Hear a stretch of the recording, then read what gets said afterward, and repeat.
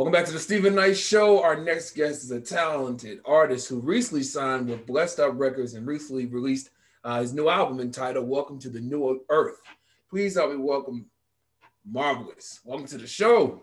Oh, what up? What up, man? Nice to see you, brother. You too. You too. So listen, I, I mean, you have a very you're from the Philippines, but you lived in New York, then you lived in Virginia, where I'm from, Virginia. And uh, tell us about your, your upbringing. Uh, my upbringing was pretty cool though. It was uh military. You know, my, my, my father was in the military, so that's how I was born in the Philippines. Okay. He's from Brooklyn though, so you know, uh, but we we've been around a lot of music, so you know, we got writers and people that uh, you know what I mean. We just that's what we did. We listened to a lot of music, so that's yeah. that's what helped me uh, be a uh, musician and what I'm at today. So it was a family orientated environment with a lot of music. So you know, it was just, you know, a great environment for a musician. All right. And you're the you're the oldest of five kids. Yeah, the oldest. Yep. How is it? How is that like? It was cool. I was actually spoiled when I was young because I was the only boy. Oh, okay. So you had sisters. Yeah, all all four sisters. So you know, I was actually it was it was actually great. Actually.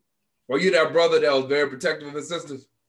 Yeah, yeah, you can say that. Definitely, yeah. definitely. Yeah, most definitely. So your dad is the one that kind of got you the love of music, right?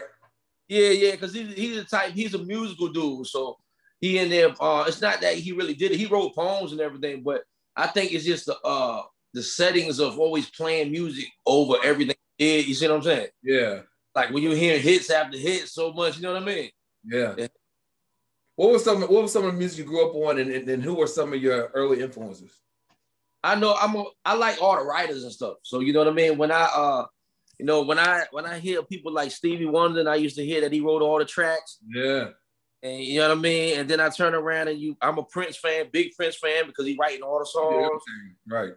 You know what I mean? And definitely, definitely I'm an R. Kelly fan. You know, I'm not really into the situations they go into, right. but I'm it's talent. It's talent. It's hard. It's hard music for writers to be doing stuff for themselves and others. So that's what I do with my music. I'm a I'm a writer. I write all the songs, R&B, rap, everything. Yeah. Well, tell us who, how you got involved with or got signed with Bless Up Records. I mean, that just happened, and tell us all about it. How I mean, go down.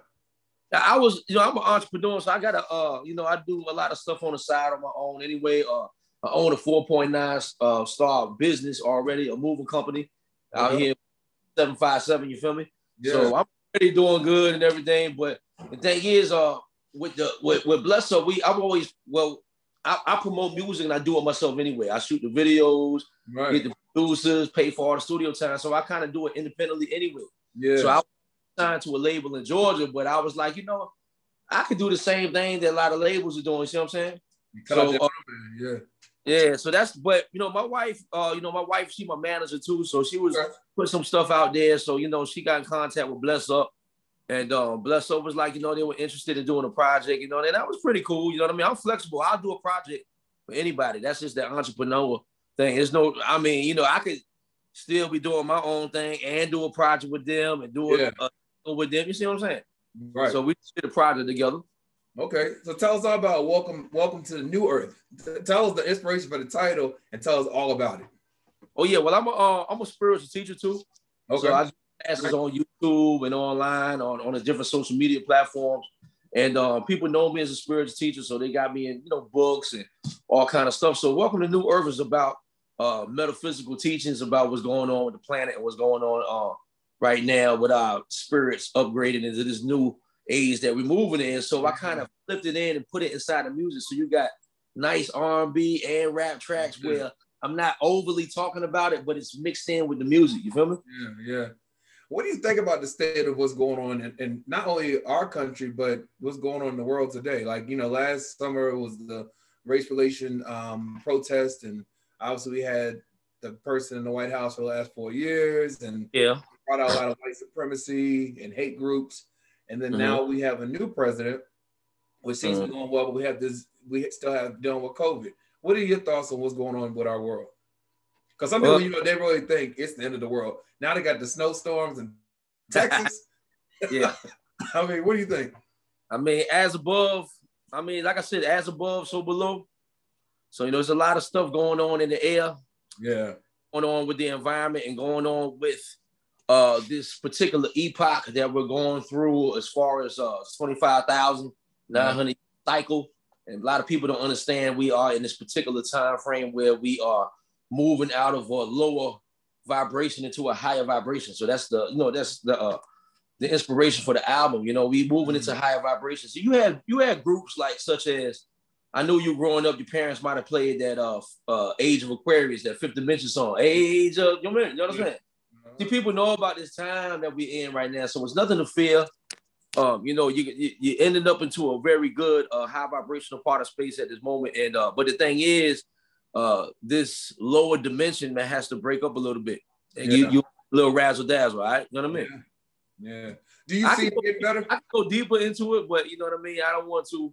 You know, you know what I mean. It's just you know, there's a time and place for that. You know what I'm saying? I got you. I got you. Do you mm-hmm. think it's gonna get better? Do you see it getting better? Oh yeah, I know it's gonna get better. Especially if you believe that. You know you a creator. Yeah. That's I, I truly believe in that. I know I know that people that um you know whenever they believe or whatever they ex- expect to see, they'll be at the right place at the right time and they'll do the right things. Like yeah. and that's with the people down there, you know, we just tell them to stay indoors as much as they can. You know, stay warm, try to stay out of the storm as much as they can. You know what I'm saying? That's their main bet. Try to stay out of it and yeah. it got a lot more of that coming. I'm gonna tell you that now. You know what I mean? Because of the situation that we're going through. Um, but it's, it's not gonna be televised on your news. And at, at, the same time, it's a good thing because if people knew uh, what stages that we're in right now, it would cause a lot of, you know, hysteria, you know what I mean? Unwanted, you know what I mean? Right.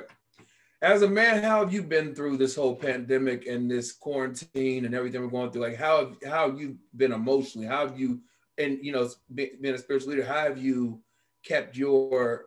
Because a lot of people experience depression, alcoholism, yeah. drug addiction has gone up. How have you kept it all together? Well, it's it's like I said, uh, it's all about you being it being a captain of your own experience. Right. That's the point. My thing is, a lot of people could come in this world and they could look around and they could see all kind of people going through stuff, even pandemics and this and that. Yeah. But you could actually you have the ability to uh, live in a parallel universe, so to say. It sounds crazy, sounds off the wall, but spiritually, uh, like last year was a very good year for me, money wise. I, I, we didn't get sick.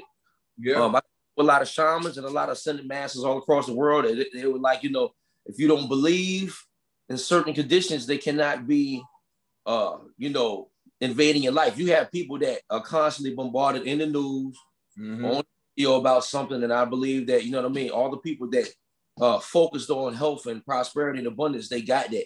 Yeah. Happened. So I actually had a, a fantastic year, and actually is moving up higher. That's dope. That's dope.